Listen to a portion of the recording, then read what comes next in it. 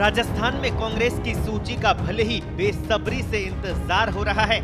भले ही सूची जारी करने की तिथि आगे बढ़ती जा रही है, लेकिन मुख्यमंत्री अशोक गहलोत ने दौसा के सिकराय से कांग्रेस महासचिव प्रियंका गांधी, सचिन पायलट और अन्य दिग्गज नेताओं और हज़ारों लोगों की मौजूदगी में कांग्रेस की सूची लीक कर दी। सीएम गहलोत ने न सिर्फ़ कांग्रेस के पाँच उम्मीदवार तय कर डाले, बल्कि मंच से ही उनको जिताने की भी अपील कर डाली। और कहना चाहूँगा, ममता भूपेश आपकी नेता जो है, आपके लिए प्रतिबद्ध है, समर्पित है, आपके सुख में काम आती है, कोई कमी रखी नहीं है, आप चारों पाँचों विधायक जो हमारे हैं, इन सबको आप, मैं अपील करूँगा, प्रसादी मीणा जी, स्वास्थ्य मंत्री मुरारी मीणा जी कृषि उप राज्य मंत्री जया खडाना जी हुड्डा जी आए नहीं हैं। आप पाँचों विधायक को भेजा, जिता के भेजो, ये मेरी आपसे मार्मिक अपील रहेगी। मुख्यमंत्री अशोक गहलोत के इस ऐलान के बाद माना जा रहा है कि कांग्रेस की पहली सूची में इन नेताओं के नाम शामिल होंगे। ज़ाहिर है, कांग्रेस की सूची के लिए जयपुर से दिल्ली तक माथापच्ची चल रही है। सर्वे रिपोर्ट में खराब परफॉर्मेंस के चलते कई दिग्गज नेताओं को टिकट नहीं मिलने की बात भी सामने आ रही है। ऐसे में गहलोत का ये बयान काफ़ी अहम है।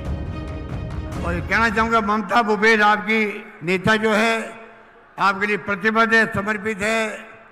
आपके सुख में काम आती है, कोई कमी रखी नहीं है। आप चारों पाँचों विधायक जो हमारे हैं इन सबको आप, मैं अपील करूँगा, प्रसादी मीणा जी, स्वास्थ्य मंत्री मुरारी मीणा जी, कृषि उप राज्य मंत्री, जया खडाना जी हुड्डा जी आए नहीं हैं। आप पाँचों विधायक को भेजा, जिता के भेजो, ये मेरी आपसे मार्मिक अपील रहेगी। सीएम गहलोत ने इस ऐलान के लिए सिकराय का मंच ही क्यों चुना?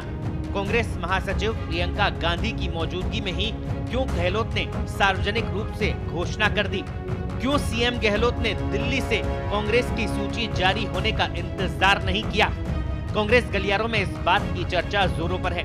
राजनीति के जानकार इसे गहलोत की सोची समझी रणनीति बता रहे हैं।